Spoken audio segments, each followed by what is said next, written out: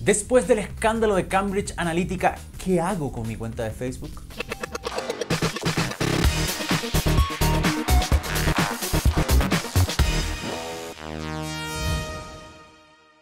El escándalo de Cambridge Analytica de Facebook dejó más que clara la importancia de ver qué estamos publicando en nuestras redes sociales. En otras plataformas sociales hay una campaña que invita a que elimines tu cuenta de Facebook. Incluso el cofundador original de WhatsApp, Brian Acton, tuiteó que es el momento que hay que borrar Facebook.